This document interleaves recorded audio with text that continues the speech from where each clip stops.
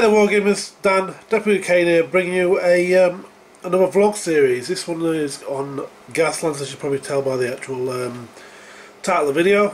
Um, but what is Gaslands? Gasland is um, basically what it says in the book, a post-apocalyptic vehicle combat. That was a strange one to come out, didn't sound right at all, but we'll carry on anyway. So, well, as you can probably guess, it's um, based on um, Matchbox type cars um, or Hot Wheels, depending on your on your flavoured or, or branding or whatever other ones you've managed to find. So, uh, without further ado, let's get on to actual. Um, we'll have a quick through, quick through the the rule book, and we'll then we'll go into my little journey of um, of building some um, death races, as it were. So. Lovely little artwork in front of uh, two people uh, racing for their lives. Um, so the the basis of this game is um, that Mars was colonised uh, back in the late um, I think I think seventies or something like that, and um, basically all the money went to Mars. All the money's in Mars, and um, Earth is a waste ground. It's basically um, been nuked by the by the people who live on Mars because they uh, didn't like it. So let's have a look. Yeah, so 1969 is when obviously when the moon landing happened, and then um, 76 when we got to Mars apparently, and then uh, they took over in 1991. We all remember that one, and uh, 1999 Mars attacks. Is that when the film came out as well?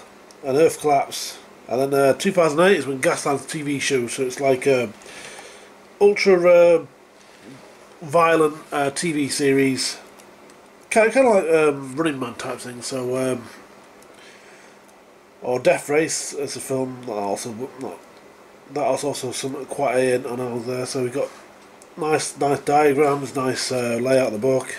It's a really nice and simple game. Not um, this book cost me about nine pound, so. Um, or 12 if you get it off of Amazon Prime. So there's also uses for for um, these two um, Devil's Run cars that I've had painted up for a while and I never used because I've never really got around to finishing the, the, um, the miniatures for that game. I've got loads of miniatures for that game as well. So more new releases life for these for these guys. So that'd be quite cool to have that. So let's get um, stuck into the actual um, miniatures made. So the first one I uh, kind of crafted up with this one. Uh, after doing, let's do a quick number zoom. After doing, um, obviously these painting yet. After doing like a, a search on YouTube, was uh, I can't can't remember the name of the video. I'll probably pop it up in a little um, uh, notation here um, to whose channel I saw it on. But it was like using electrical parts for like um, motors and um, and whatnot. Now this was originally just had a like pieces of metal sticking out, but I wanted it to make like a like gun barrels, so I added some gun barrels, a bit of things, and there's obviously got there was like a bit of plastic uh, mould in here for the actual vehicle that had some weird and wonderful bits and bobs on which I got rid of, which had, and I had a bit didn't go too too much on the old detail, so a bit of a bit of armour there and a bit of metal grating there on that thing so and a, a, few bits of plastic card here and there to add some detail obviously like uh, put the armoured up the windscreen. Um, the next one is the one I I bought as well. Not no this is a Hot Wheel one. This is really this this just gelled out for um, for post-apocalyptic use because like over super engine back here. I added grills and whatnot and an, an armoured armoured front window with a slit for vision. I just got bits of sprue here for um, for the guns themselves and some barrels there. Add some more um, plastic card for the front to make the bumper a bit more um, menacing. So I've got a meshed up grill there as well and another mesh on the window there to a bit of armour. Now the next two um, because those were like Hot Wheels cars or Matchbox cars I like I bought from from a pound shop. Um, for well, obviously pound. But these two were like were like um, some cars I um, got out of, out of a box of uh, Matchbox cars I got from eBay.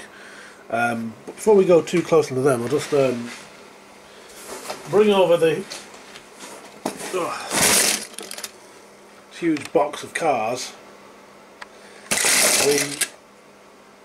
I mean, you could buy them for like quid a pop a time, but they just uh, decided to take a punt on this, and there was like some, some absolute gems in there. So there was like, um, where is it? This this one here, this this Porsche, which is one I'm going to be uh, uh, tied up's the wrong word, but apocalypse up and um, Mad Maxing. There we go. That, that's a good verb.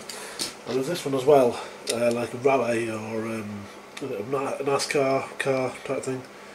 Yeah. So that one's going to uh, get some attention as well. And also, um, it's like loads of little gems like that thing looks like just something that would be, do well as a uh, post-apocalypse cars. Like weird, weird and wonderful cars there, like this one, whatever this is. So it's well worth taking a, a punt on um, random vehicles. Uh, I think like it, I think it was like a, a fiver it cost me and, and some money for postage. There's another a, a, van there. So it's like the more mon more mundane vehicles, which are, and also these weird and wacky ones, which is stuff I find useful. There's like loads of stuff I can dig into there, and it uh, worth them to make um, make terrain out of. So let's get back onto the actual um, two little jet. Well, I say gems. This wasn't really a gem really. This one. It was just a just a random boring car I wanted. I wanted. It's a muscle car, I think, but it's um, some. It's not a um, outrageous car that you sometimes like like this one you get from Hot Wheels. I mean, it's nothing. It's not overly outrageous, but it's um, it's not normal. It's not. It's not something you probably find in the apocalypse movie. But this one was like um, yeah, for lack of a better word, a normal car. So grilled up the windows. I mean, I even I even put some paper on the inside because the, the, windows weren't fully complete, so I didn't want to have to worry about the interior. I put some armoured slits in the window, um, bit of armour plate. You can't really, yeah, we can just about see that out. There's actually two, two levels of um, plate in there, and um, like a ram there. And I even made him make made I know it's a bit out of scale but I made myself a minigun out of um, styrene rod. So it's got like um, eight 1mm um, styrene rods and a 2mm one in the middle. Um, all glued together and, and um, slapped onto this piece of um, uh, square styrene that I cut off an angle and then put plastic card around so I'm quite impressed with that, that, that minigun how that came out. I mean, it's a bit oversized for the vehicle but hey, who cares and then the last one is um, um, first time I've ever, used these components, which are like um, wait for it focus. There are um, this is two halves of a smoke launcher from a, a, a Chaos um, a 40k Chaos tank, which um, I thought fit the part of um, missile launchers or missile rocks or rockets quite well. Um, bit of armour there to add on to things and obviously there's, there's two like wire things there going there, a bit more armour on the side. Again more of this uh, meshing for the windows to make it look like it's a bit more armoured on the side and I made a, another little bumper there. Also the um, these idea for rivets or whatever came from just basically drilled a 1mm hole and stuck a, a bit of 1mm um, metal rod in there and just trimmed it off right right right narrow so a bit more armour. And then um, this, um, anyone who's seen Death Race will probably see where I got the idea for this. It's um, it's the tombstone. So it's basically a big chunk of um, metal on the back. It's obviously no part in the game, but um, it's just something to do. So that's been uh, my little um, little delve into into um, Gaslands. But before I go, I'll give you a little overview of um, how it kind of works.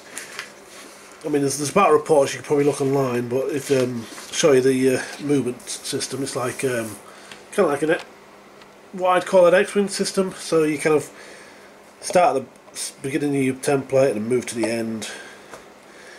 So it's not it's not got the, the um, revealers at X-wings. You're not like planning ahead, but you it's got a um, touch it use it system. So if you touch the template, you got to use it. But anyway, less on that. Um, just a little um, little brief overview of what we uh, what little project I'm starting now. and hopefully you never know I might actually finish this one.